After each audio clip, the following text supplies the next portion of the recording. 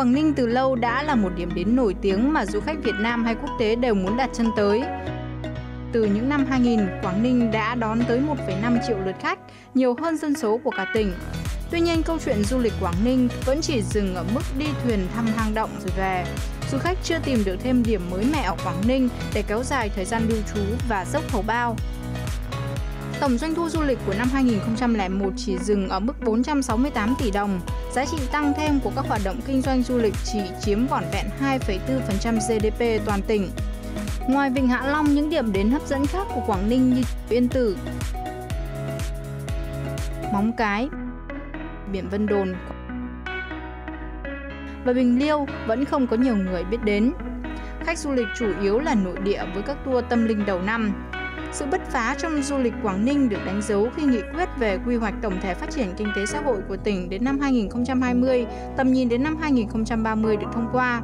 Theo đó, tỉnh sẽ chuyển đổi mô hình phát triển từ nâu sang xanh, phát huy những giá trị lâu dài như dịch vụ, du lịch, đưa du lịch trở thành ngành kinh tế mũi nhọn. Đến Hạ Long, du khách chắc chắn sẽ nhận thấy hình ảnh du lịch chuyên nghiệp, trật tự và đồng bộ. Nhiều mô hình cách làm mới giúp làm đẹp hình ảnh của Vịnh Hạ Long trong mắt du khách đã và đang được triển khai. Từ tháng 7 năm 2017, Ban Quản lý Vịnh Hạ Long đã thành lập quầy thông tin hướng dẫn viên du lịch tại cảng tàu khách quốc tế Tuần Châu. Đây là đầu mối cung cấp thông tin, tư vấn trợ giúp cho khách du lịch tham quan Vịnh Hạ Long. Đến đây, du khách sẽ được giải thích tường tận về luồng, tuyến di chuyển, về những câu hỏi và thắc mắc của họ, để từ đó có được những chuyến hành trình khó quên trên Vịnh Hạ Long. Ban quản lý vịnh cũng bố trí 23 hướng dẫn viên du lịch phục vụ miễn phí. Nếu như du khách có nhu cầu, hướng dẫn viên sẽ theo du khách trên cả hành trình thay vì được bố trí đứng tại các điểm hang động như trước đây.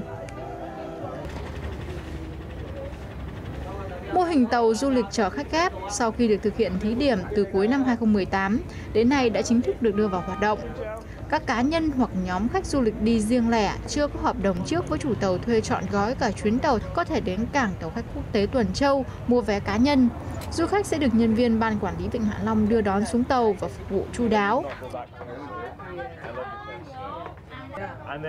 Việc mua vé tham quan Vịnh Hạ Long rất dễ dàng, lại có chị Vân Anh, hướng dẫn viên rất am hiểu và nhiệt tình. Tôi cảm thấy rất hài lòng. Cảm ơn các bạn. Chỉ riêng với trải nghiệm ngắm cảnh tại di sản thiên nhiên thế giới Vịnh Hạ Long, giờ đây du khách đã có rất nhiều lựa chọn. Bạn có thể đi tàu tiếng để ngắm cảnh vịnh, vào các hang đá để được tận mắt chứng kiến vẻ đẹp sừng sốt mà tạo hóa ban tặng cho Hạ Long.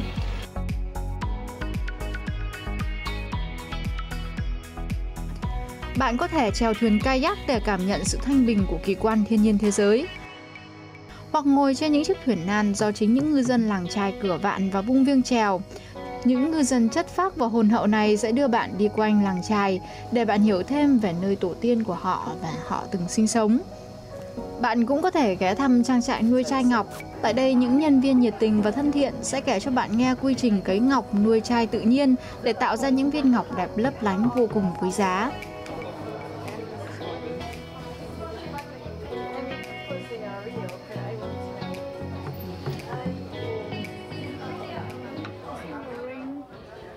Những sản phẩm này rất đẹp, chất lượng và đáng tin cậy. Tôi rất thích. Sức hút của du lịch Quảng Ninh nói chung và Hạ Long nói riêng ngày càng lớn hơn. Đó là do chiến lược đầu tư đúng đắn, sự chuyên nghiệp hóa trong phong cách phục vụ cũng như sự đa dạng của sản phẩm dịch vụ du lịch. Nhiều sản phẩm du lịch mới được giới thiệu hấp dẫn du khách, khiến họ sẵn sàng dốc hầu bao để được trải nghiệm, bởi nó mang tới cảm xúc và kỷ niệm có một không hai và hoàn toàn khác biệt. Chẳng hạn như dịch vụ ngắm vịnh Hạ Long từ Thủy Phi Cơ và ngắm vịnh Hạ Long từ trực thăng. Mức giá cho một chuyến bay trải nghiệm 12 phút trên vịnh Hạ Long là gần 3 triệu đồng với trực thăng. Một con số không hề nhỏ, nhưng công ty trực thăng miền Bắc, đơn vị cung cấp dịch vụ bay trực thăng ngắm cảnh, rất tin tưởng và lạc quan vào triển vọng phát triển trong tương lai của loại hình dịch vụ này. Những cái tour bay của chúng tôi chủ yếu là phục vụ cho khách du lịch nội địa là chính, phải đến trên 80% là khách du lịch à, nội địa trong nước và người dân địa phương ở Quảng Ninh này. Kỳ vọng rằng trong cái thời gian tới thì chúng tôi sẽ sẽ sẽ đón được nhiều khách bay uh, uh, trực thăng hơn nữa. Đến Hạ Long, ngoài ghé thăm kỳ quan thiên nhiên thế giới, du khách không thể bỏ lỡ quần thể công viên giải trí Sun World Hạ Long Complex, nơi họ có thể trải nghiệm những trò chơi cảm giác mạnh, ngắm Hạ Long từ cabin của vòng quay mặt trời. Công trình giờ đây đã trở thành một điểm nhấn trong cảnh quan của thành phố Hạ Long xinh đẹp. Trải nghiệm ngắm nhìn thành phố Hạ Long, các công trình điểm nhấn của thành phố biển xinh đẹp từ xe buýt thoáng nóc hai tầng. Cũng giống như Hạ Long, một điểm đến du lịch vang danh khác tại Quảng Ninh đã được tôn tạo để có được tầm vóc mới, xứng đáng với giá trị lịch sử, tôn giáo to lớn mà nơi đây chứa đựng. Đó chính là khu di tích lịch sử và danh thắng Yên Tử Uông Bí, Quảng Ninh. Đây là nơi Phật Hoàng Trần Nhân Tông sau khi đánh giặc ngoại xâm đã chọn để đi tu, hóa Phật, chính thức đặt nền móng cho thiền phái Trúc Lâm Yên Tử, thiền phái đậm chất văn hóa Việt. Khu di tích danh thắng Yên Tử là một trong những thế mạnh phát triển du lịch văn hóa tâm linh không chỉ của riêng thành phố Uông Bí mà của cả tỉnh Quảng Ninh. Mỗi năm khu du lịch danh thắng này đón hàng triệu lượt khách đến tham quan du lịch. Nếu như trước đây, lượng khách đến với khu di tích danh thắng Yên Tử chủ yếu là vào mùa lễ hội, từ dịp Tết Nguyên đán đến khoảng tháng 3, tháng 4 âm lịch và cũng chỉ đa phần là du khách trong nước, thì những năm gần đây, khu du lịch này có nhiều thay đổi, yếu tố mùa vụ đang dần được khắc phục. Vào các mùa khác trong năm, tuy lượng khách đến Yên Tử không đông như mùa xuân, nhưng so với trước, con số đang ngày càng tăng rõ rệt. Và điều đáng mừng là không chỉ có khách nội địa, khách quốc tế đến với non thiêng Yên Tử đang tiếp tục tăng mạnh. Điều này cho thấy khu di tích danh thắng Yên Tử đang dần tạo được sức hút mới với thị trường khách du lịch nước ngoài. Quảng Ninh rất đẹp và giàu tiềm năng du lịch. Hôm nay được đến Yên Tử, tôi cảm thấy rất ngỡ ngàng trước vẻ đẹp thiên nhiên, giá trị lịch sử và cách thức làm du lịch chuyên nghiệp của các bạn. Cùng với Vịnh Hạ Long, tôi tin rằng nơi này sẽ là điểm đến hấp dẫn ở Quảng Ninh. Năm 2018, Trung tâm Văn hóa Trúc Lâm Yên Tử chính thức mở cửa chào đón du khách tới tham quan. Là một tổ hợp kiến trúc độc đáo do kiến trúc sư lừng danh người Mỹ Bill Bensley thiết kế. Tổ hợp công trình đa chức năng đáp ứng nhu cầu ngày càng cao của du khách thập phương về một hạ tầng văn hóa dịch vụ khang trang, tiện nghi và hiện đại, đảm bảo được điều kiện phục vụ tốt nhất cho các hoạt động hành hương, hội họp, tham quan, lễ Phật, thưởng ngoạn, trải nghiệm và tu tập. Quần thể công trình này là một vùng đệm làm nền bổ sung giúp tôn vinh tăng thêm giá trị cho vùng lõi di tích và di sản tâm linh ở núi Yên Tử, gắn chặt thêm đạo và đời, hoa quyện cảnh và người, kết nối xưa và nay.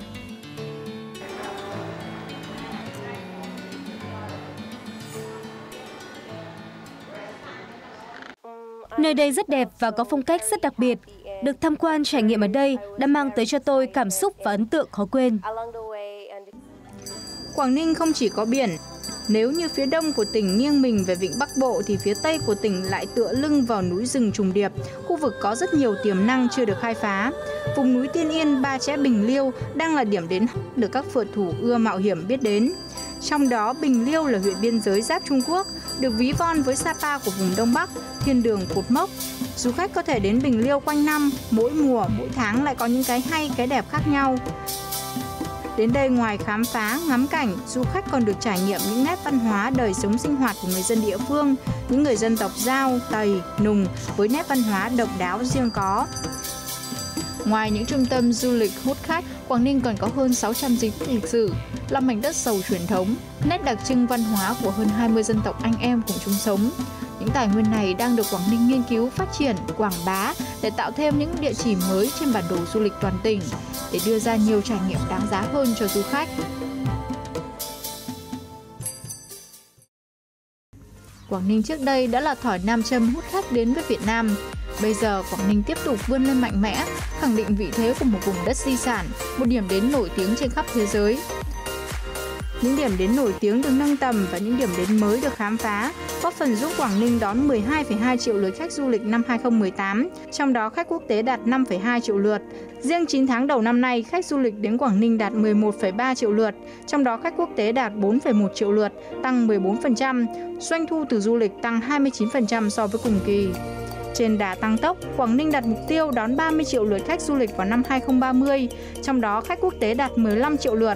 Với vị thế của top 5 điểm đến hàng đầu châu Á, top kỳ quan thiên nhiên đẹp nhất thế giới và sự đầu tư không ngừng nghỉ vào những dự án giải trí nghỉ dưỡng tỷ đô của các nhà đầu tư uy tín, thì chắc chắn trong tương lai không xa, thứ hạng trên bản đồ du lịch thế giới của Quảng Ninh sẽ thay đổi vượt bậc.